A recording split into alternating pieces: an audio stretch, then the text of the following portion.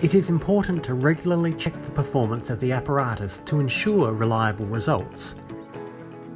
The first check is to perform the test using a 20 mg per litre water solution of sulfur dioxide prepared from sodium metabisulfite for the free sulfur dioxide test, and 100 mg per litre for the total test. Both solutions should give results within 10% of the solution values.